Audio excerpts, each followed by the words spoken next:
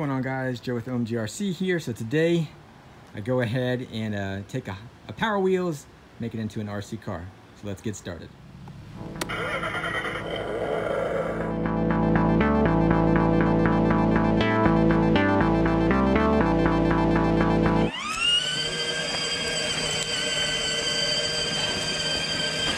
Oh, took me out.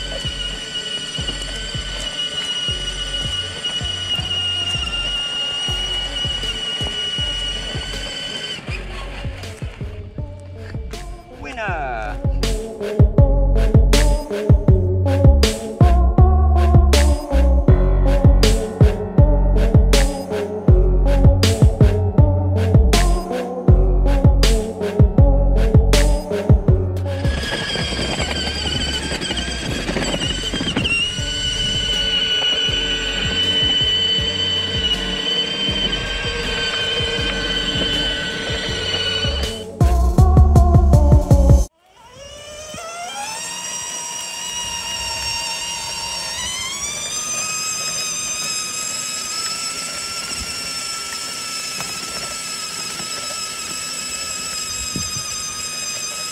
so sad.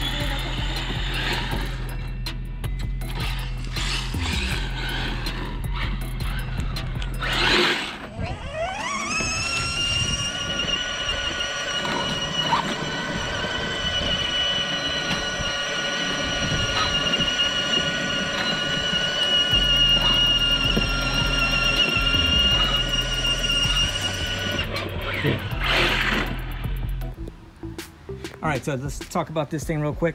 Um, it is beta, more or less, because I'm just put it all together. I picked it up today as far as the car goes, and then I just kind of put everything in there, trying to figure out the steering and everything like that.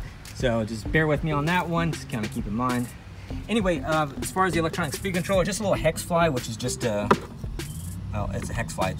From um, Redcat is what it came in like a Gens Ace. Anyway, I'm running on a 2S LiPo Gens Ace 5000 milliamp.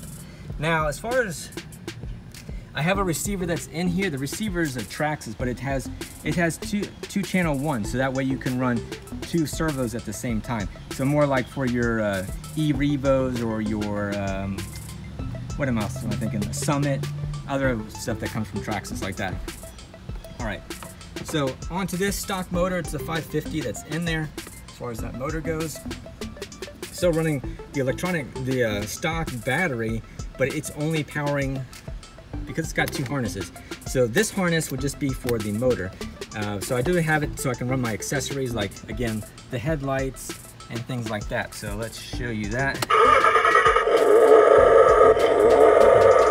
Pretty cool. And then the headlights. So the headlights still work on it as well. All right, so yeah, pretty simple on that. Now, I've seen other people, and I've done it before too, where you can put 12 volts to this. It's gonna put a lot of stress on that poor little thing. Not so much I'm worried about the motor, it's the actual transmission. Now, this is only a one wheel uh, driven, so there's no, it's not a rear, it's not two wheels driving it. So again, if you put a lot of power to it, it's just gonna spin that wheel or break that little transmission. So I'm just keeping it simple, uh, but really fun. Let me go ahead and turn this thing off. But yeah, let me go ahead and show you underneath. Again, not pretty, but I'm not done with it, so it's gonna be ugly, but I don't care, because it's fun. All right, so these cables that are running right here are for the motor. Now, if I was running a lot uh, more, if I was running a powerful motor, I'd be concerned because that, that wire would probably heat up or would definitely heat up. But in this case here, not running it for very long. and I'm not running a lot of power through it, so it should be fine. Again, I'm not running in this all the time. But anyway, those are the two servos. I just, whatever I had, and just, this what I had is what I had, and that is that. Anyway, I disconnected the steering. That way there's less stress, and that way each wheel, front wheel, uh, has its own individual servo. Now they're not matched or anything like that, and again, it's just one of those things where um, on the fly, just kind of putting something together. Just excited just to put one of these together and drive it, so or control it, I should say.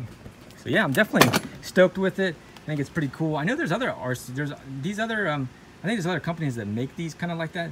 But honestly, I paid like 25 bucks and then it was just whatever parts I had lying around. So I'm not in it other than 25 bucks. And if you consider the other stuff that I already had.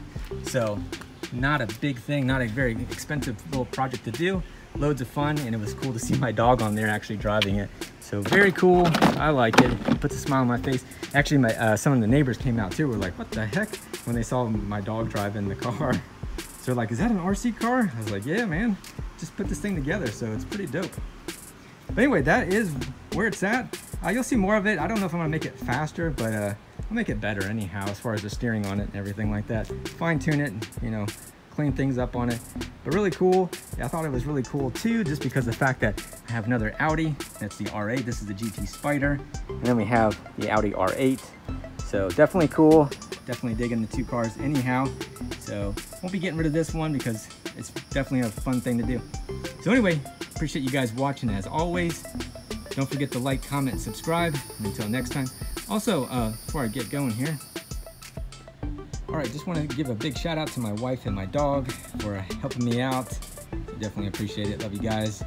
Anyway, um, when it comes to this, this thing was definitely a fun little project, and I, obviously I have more to do on it, but it was definitely cool. And some of the neighbors came out and were wondering, you know, saw my dog driving the car. It was hilarious, and uh, you know, got some comp compliments on it too. So yeah, definitely cool project. So if you guys run across one of these little power wheels or whatever, maybe your kid's outgrown it, but hey, if you're in the hobby, maybe you turn it into an RC car, right? Until next time, this is Joe at the OMGRC. Don't forget to like, comment, subscribe, and also check out our website at omgrc.com for all your hobby goodness. And until next time, you guys take care. Thank you for watching.